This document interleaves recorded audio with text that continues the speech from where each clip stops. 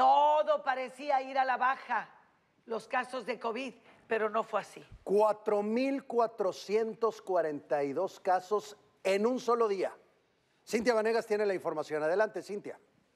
Así es, Luis Carlos, muy buenas tardes a ti y al auditorio. Como bien señalan, pues las cifras continúan muy preocupantes. Decimos esto porque pues ayer eran poco más de 3.000 e incluso antier. El día más crítico, hay que recordar, fue hace tres días donde se registraban alrededor de 4.697 casos. Esto nos impactó a todos, preocupó el 8 de enero, pero ya después bajó las cifras a 3.648 y luego a 3.069 ayer y dijimos pues vamos a la baja, pero nada, el día de hoy amanece con 4.442. De nueva cuenta, pues una cifra muy alta. Estos contagios, hay que señalar, se registran en las últimas 24 horas y también las defunciones. Habíamos estado reportando tres, cuatro personas sin vida y hoy la cifra se eleva hasta nueve. No hay que verlo como un número, sino como familias que realmente están padeciendo la pérdida de un ser querido a causa de COVID-19. Entre ellas hay una persona que no tenía ningún tipo de comorbilidad, que se encontraba pues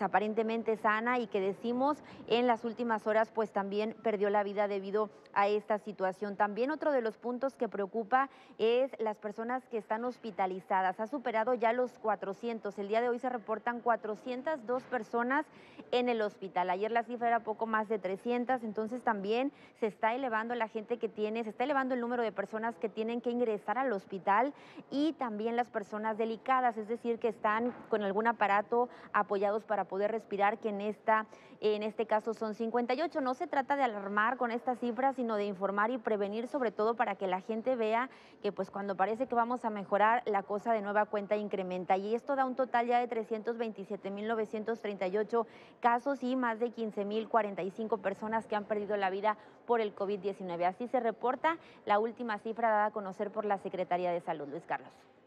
Gracias, Cintia Vanegas.